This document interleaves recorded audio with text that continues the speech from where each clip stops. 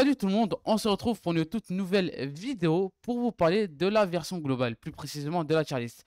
Ceux qui veulent, j'ai déjà tourné une vidéo qui concerne le guide des débutants qui est disponible euh, sur ma chaîne et que j'ai tourné il y a deux jours. Alors, voici le guide reroll. Au vu de l'amélioration des personnages dont je vous ai parlé il y a quelques jours de cela, qui concerne 7 personnages, euh, parmi les 7 personnages, il y a euh, Sally où sa speed est augmentée, il standard, mais lui, ça se base sur, les doublons. Et également le Asta saisonnier. À part ça, il y a Mimosa. Mmh, et c'est tout. Et Mimosa, excusez-moi. Et également l'autre, il y a mis écolier, prof. Alors, on commence avec la team bleue. L'importance, prenez bien en compte que l'importance dans le PVE, c'est de terminer rapidement. Ça sert à rien de vouloir scale sur euh, la défense euh, ou sur le shield. Du coup, je vous conseille d'aller sur, ce, sur cette team-là. Bien sûr là. Ou sinon ça. Pour quelle raison? En fait, euh, Charlotte, vous allez bénéficier d'une attaque supplémentaire avec Charlotte. Et Sally va pouvoir vous buff par la suite. Lui, derrière, il va augmenter les dégâts subis, réduire la défense, plus stun, probabilité de chance, euh, probabilité de, stun, de mettre euh, de, de l'anti-def et d'augmenter les dégâts subis.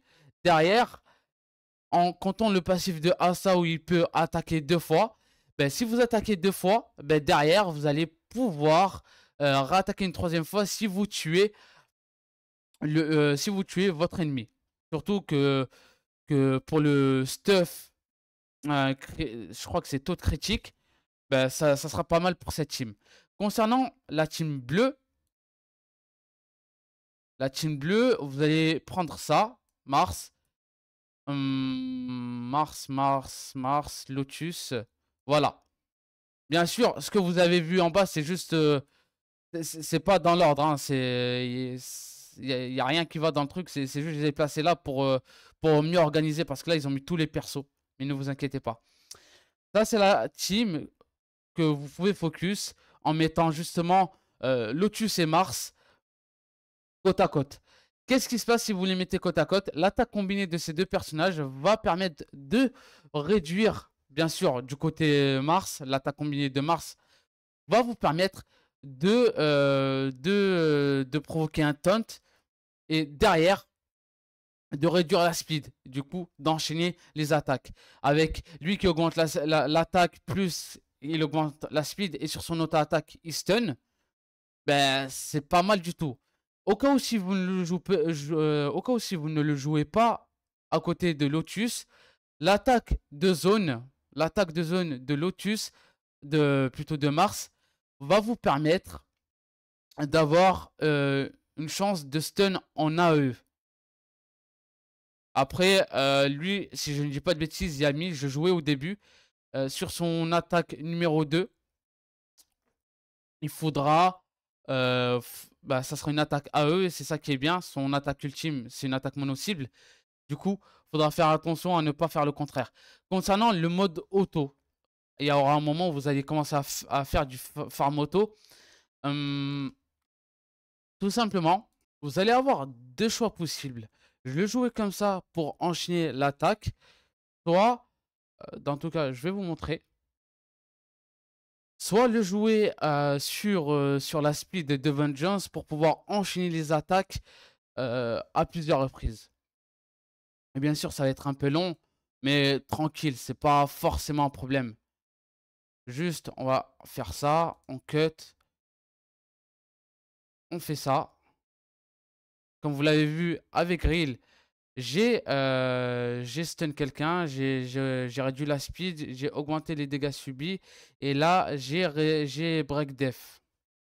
Du coup, là, on part sur la compétence 2. Je vais pas faire beaucoup de dégâts. Ça, c'est sûr, ça prendra du temps. On n'oublie pas que l'unité n'est pas si folle que ça pour les dégâts de zone. Et pour que l'unité soit super intéressante, il faut le monter euh, en physique et augmenter ses compétences max. Du coup, là, on continue. Là, par exemple, vous allez le programmer ici. Vous allez euh, le programmer ici sur, euh, sur euh, l'auto-attaque. N'allez pas sur la compétence 2 parce que il est toujours préférable de réduire la speed pour réduire le nombre d'attaques de votre de vos ennemis. Vous voyez, là, ils ont perdu très peu d'HP. Là, on enchaîne. On réduit un peu la speed. Voilà, là, on fait ça. On rattaque sur euh, la compétence 2. Euh, on prend le focus. Celui qui va être énervant, c'est celui du milieu parce qu'il frappe en zone. Du coup, il provoque. Et même s'il crève, c'est pas grave. Parce que l'important, c'est pas forcément lui. C'est surtout votre attaque du haut. Vous voyez? Là, on fait ça. fait ça. Dans tous les cas, il va tank. Il va tank un maximum, c'est pas un problème. Il est là pour tank un maximum. Même si vous avez du stuff SSR, surtout qui sera simplifié sur la version globale, ça sera pas forcément un défaut. Ça va prendre du temps au début, mais, euh, mais pas autant que sur la version coréenne ou japonaise. Pour ceux qui se demandent pourquoi je n'utilise pas l'aspect, je peux l'utiliser, mais vous... L'auto-attaque suffit amplement. Et pourquoi j'utilise l'auto-attaque de lui C'est parce qu'il a de la provoque sur, sa, sur son auto-attaque. Il a de la provoque. C'est mieux d'avoir de la provoque que, euh, que justement avoir, euh, avoir une probabilité de chance. Du coup, là, on fait ça. On va pas faire beaucoup de dégâts. Par contre, on silence. Continue de subir. Vous voyez, c'est simple. Là, le problème, ça sera lui, toujours lui, le petit golem. Parce qu'il va, euh, parce qu'il va avoir une attaque de zone. Après, on s'en fout, on fait ça. On réduit la speed. On va one-shot lui. Ça sera lui, même s'il a le focus, euh, je préfère le... Euh, même s'il a le taunt, je préfère toujours euh, le focus parce qu'il a l'attaque de zone au début. Et après, ça se complète auto. Même en auto, ça se fait facilement. Ça se fait vraiment facilement. Ça va prendre du temps. Le temps que Fana arrive. Parce que ça sera la seule unité en dehors de Julius en bleu qui frappe, qui frappe en zone. Comme je l'ai dit, ça prendra juste un peu de temps, mais sans plus. Vraiment, c'est. Au début, ça prendra du temps. Et dès que vous allez commencer à avoir beaucoup de stuff, ça, ça va vraiment vous faciliter. Voilà. Là, vous le voyez. Tranquille. En Mars Lotus, bien sûr, je peux vous montrer avec Vengeance. Je vais vous montrer avec Vengeance. Avec Vengeance, vous allez avoir des dégâts supplémentaires et vous allez pouvoir attaquer plus souvent. Tandis qu'avec lui, c'est juste la probabilité de chance de mettre du stun. Euh, ok, on switch Real sur, euh, sur euh, Vengeance maintenant.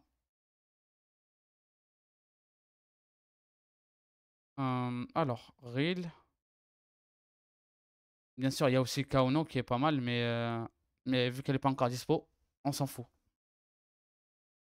Moi, je vous dis pourquoi la team bleue Parce que le stuff sur la team bleue va vous permettre d'avoir des dégâts supplémentaires.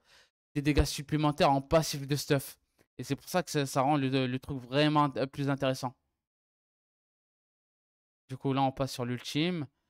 Encore un second ultime. Et surtout que là, il a un mauvais stuff, mon Yami. J'ai mis un stuff euh, magique. Hein. Je n'ai pas mis un stuff euh, dégâts. Hein. Sinon, là, j'aurais déjà terminé sur la, première vague. Du coup, là, il prend le taunt. Là, je booste Yami.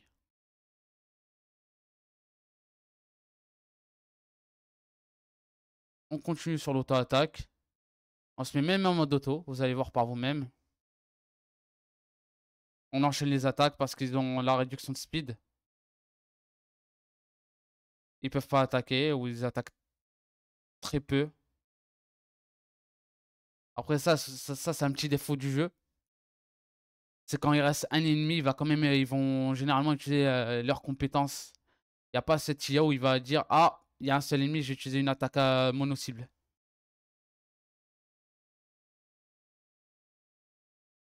Vous voyez, c'est vraiment...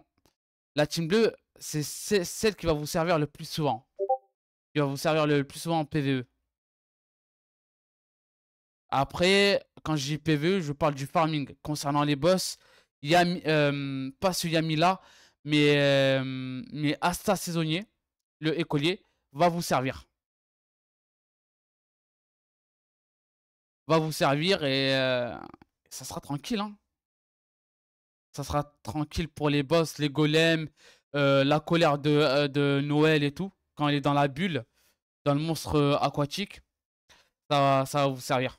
Parce que généralement, ça sera des, des dégâts mono-cibles qu'il vous faudra sur ce type de boss. Vous voyez? Simple comme bonjour. Et là, vraiment, j'ai vraiment du mauvais stuff sur lui. Hein. Bref, c'était la petite parenthèse. On repart sur ça. Et après, pour la team verte, c'est pas, pas fameux pour la team verte. Je parle en termes de DPS. Hum, pour la team verte, ce serait intéressant. Vous allez jouer sur la durabilité et la longévité de votre team. Du coup, vous allez avoir, par exemple, hum, par exemple, par exemple, ça, ça, euh, vous allez avoir Fuego Leon, mais mais dans tout cas, le stuff, le stuff de la team verte n'est pas super intéressant. Il n'est vraiment pas intéressant. Ce que vous pouvez jouer, ça sera sur le même chip. Par exemple, là, en attendant Fana et Kaono, euh. Vous pouvez faire ça pour jouer sur le même chip. Parce que là, avec justement, euh, justement euh, ce personnage, vous allez gagner en défense, ces deux-là. Du coup, Rades et Mimosa, vous allez gagner en durabilité. Et, et en tankiness, en shield, etc. etc. Après, après, après, les persos à focus d'un point de vue général PVP, PVE. Je vous mets ça, je vous mets ça. Il y aura Asta qui vous faudra. Euh, ça, je le mettrai ici. Puis je le mettrai là. Il vous faudra obligatoirement cette unité-là. Cette unité-là, SP5, c'est super, super fort. Euh, Charlotte, je la mettrai ici. je la mettrai là pas forcément nécessaire, elle, même s'il a un revive. Et euh, sur le premier mois, le premier mois, en PVP, ça va se jouer sur ces, deux-là. Sur les deux, trois premières semaines, entre les deux premières semaines et un mois, ça va se jouer euh, pour Outscale parce que c'est des persos free-to-play que vous allez monter très rapidement en SP5. Tandis que euh, Vengeance, vous allez mettre du temps à le up SP5 pour qu'il puisse outspeed tout le monde. De préférence, jouer sur ces deux-là. Sur cette team-là. Bon, ça, je ne les ai pas mis parce que c'est pas nécessaire. Mais vous avez une variété de teams pour le PVP que je vais vous montrer de suite. Là, je les ai classés comme ça, mais c'est aléatoire, hein, c'est bordélique. Hein. Il n'y a pas réellement de trucs. C'est juste ce que je vous ai mis ici. C'est vraiment important. Alors, pour le PVP, vous l'avez vu sans doute dans plusieurs vidéos. Mais généralement, vous allez avoir ce duo-là qui est très très important. Immunité face aux dégâts sur le... Non, immunité face au malus, mais pas face au stun. C'est ça qu'il faudra différencier. Euh, après, vous allez euh, avoir besoin de ça. Vous allez également avoir besoin euh, soit de ça, soit de ça.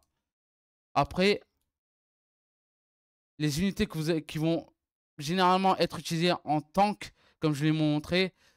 Euh, si vous avez, au cas où si vous n'avez pas Lotus et que vous avez la flemme de démarrer avec Lotus, ce que vous faites, vous démarrez avec euh, Mars et Rades. Ils seront extrêmement utilisés. C'est la team de racistes par, de racistes par excellence. Vraiment. Vraiment, vraiment, vraiment. Elle, elle sera utilisée dans très peu de situations.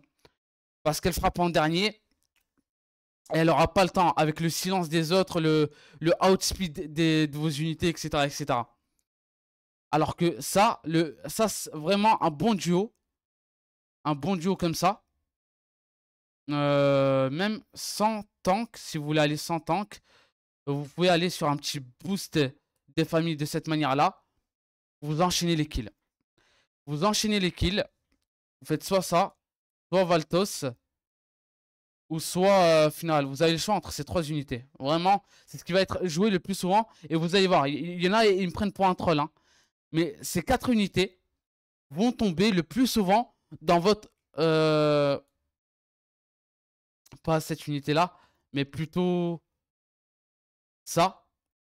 Ça, après, ça fait beaucoup de, de persos bleus. Mais voilà, ces cinq unités vont tomber le plus souvent. Voilà. Au début, pendant un mois, ces six unités-là, incroyable. Incroyable. L'ajout l'ajout d'attaques supplémentaires. Euh, derrière, si vous avez ça, la contre-attaque, vous avez frappé à plusieurs reprises. Le duo qui va outspeed, qui va réduire la speed, qui va augmenter les dégâts. Euh, les dégâts subis, je veux dire. Lui qui va stun sur, son, sur sa deuxième attaque. Derrière, euh, il, pourra stun euh, ou taunt. C'est vraiment très très fort. Là, du shield, forcément, vous l'avez compris. Et après ça, généralement, lui, va vous servir pour le PVE. Lui, pourrait vous servir éventuellement, mais c'est pas indispensable. C'est vraiment pas indispensable. Voilà. Ça sera tout pour cette petite vidéo. J'espère qu'elle vous a plu. Petit pouce bleu et abonnez-vous à la chaîne. Ciao, ciao.